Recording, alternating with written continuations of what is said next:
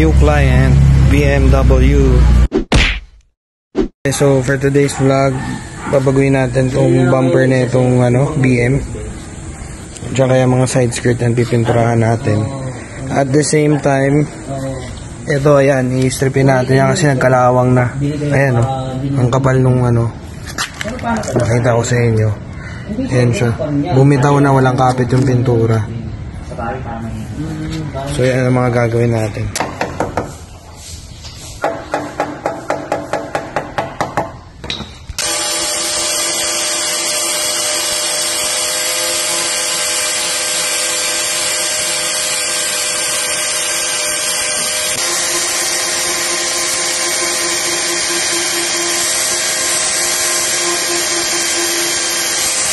Ayan, natanggal na natin yung. Kung makikita nyo yan, butas-butas pala yung running board niya.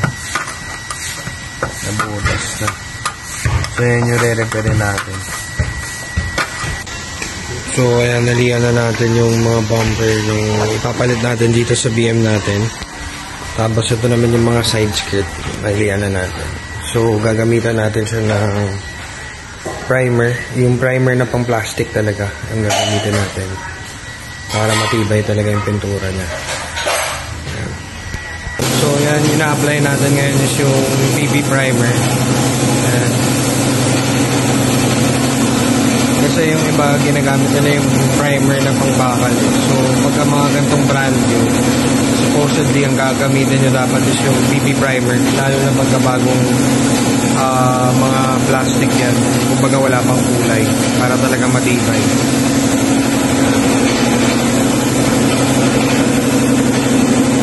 Naman po yung front bumper niya. Ayan.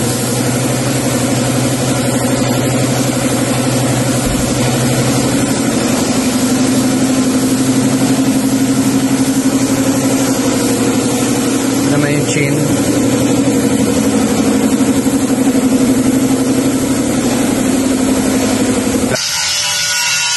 So, ayan. Matakpan na natin yung mga butas.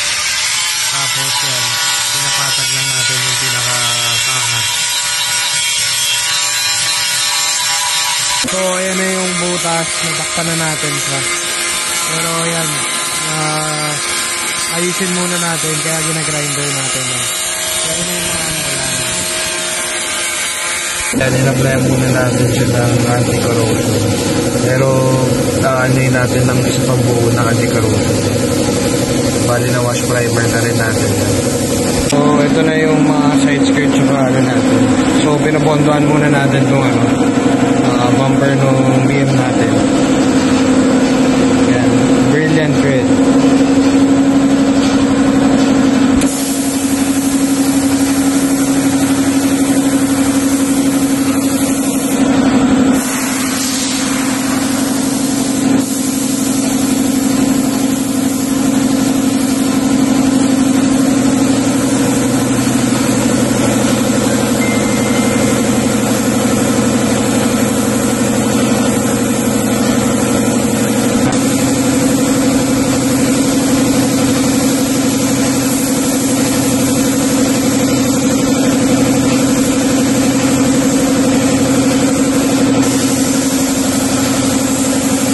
So, ito na yung ano natin, mga bumper. Tapos ito yung takip ng side skirt.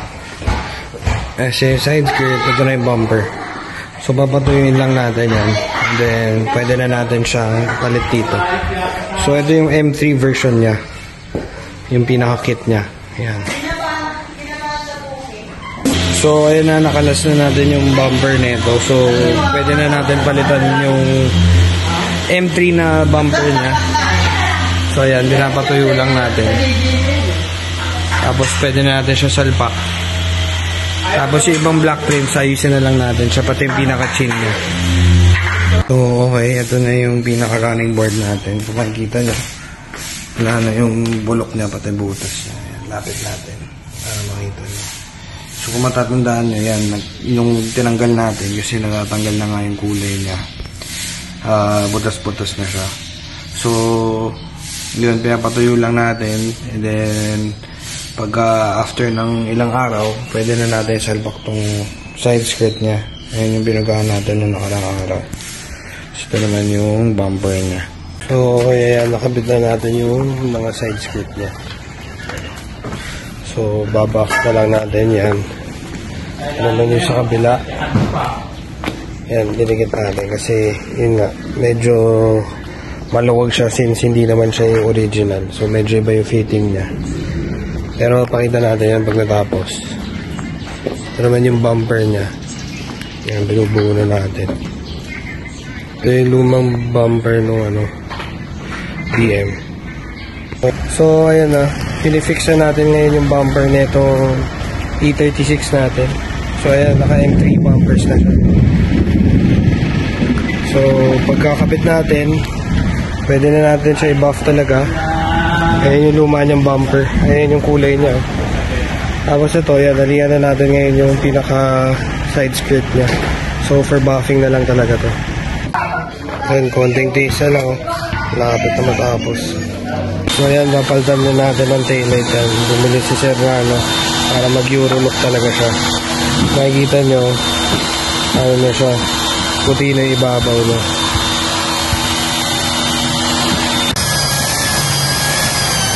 So, ayan na, binabuffing na natin ngayon yung side skirt ni Sir.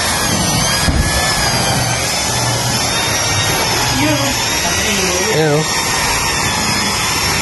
Sobrang busy natin ngayong araw. Inabot na tayo ng gabi. Ito naman ngayon kakanay natin. So, ito na mga padi. Ayan. Yan. Ito na yung pinaka-bumper niya bago. Tapos. Oh bro. Big glare eh. Ayan o. Ito na yung finished product natin ng BM. Uh, ah, ito na yung mga side skirt niya. Alam yung pagtakbo sa ilaw eh. Ayos na.